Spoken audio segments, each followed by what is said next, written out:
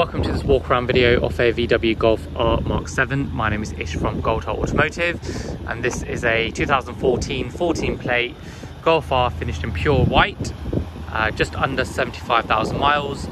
Very well specced from pan roof, heated seats, carbon nappa interior, carbon wing mirrors, the 18 inch Bowler alloy wheels.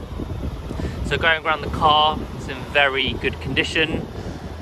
Obviously for its age and mileage, there are a few stone chips which are to be expected.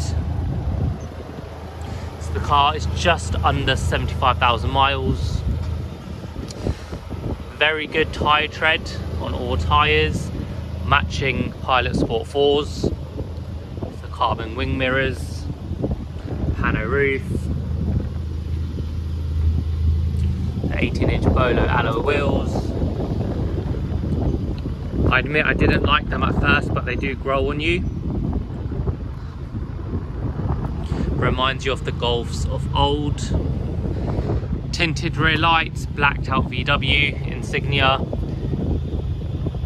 Aftermarket rear diffuser. Res delete as well. So again, matching PS4s and all tyres, pretty much brand new, very good condition.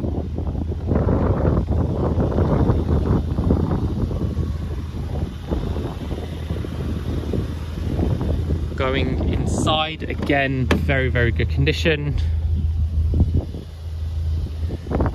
So these seats look black but if you zoom in closer they're actually carbon carbon nappa effect. A retrimmed steering wheel so it's a bit thicker. Carbon paddles.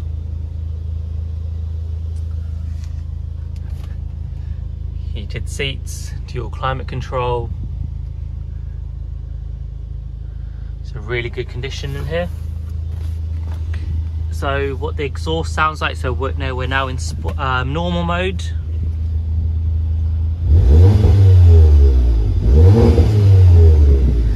If I then put the car into race mode,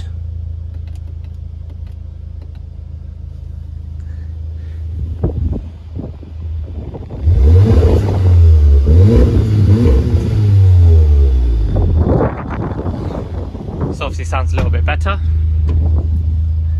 The rear seats, again, very good condition. Very, very good history on this car. So it's been serviced every year. It's missed one service, I think, in 2019, which is COVID. But apart from that, perfect service history from VW main dealer and specialist Golf.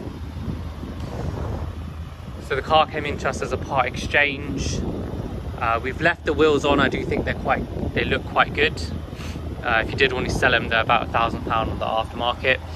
Um, now, just as a few bad points on this car, all the wheels are relatively good condition. There is one curb mark on one of the wheels. I think it's the rear passenger.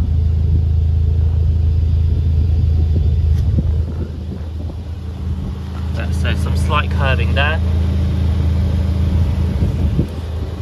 That's the first bad point, and the second bad point is there is a chip, a very small chip in the windscreen, which I don't think the camera will pick up.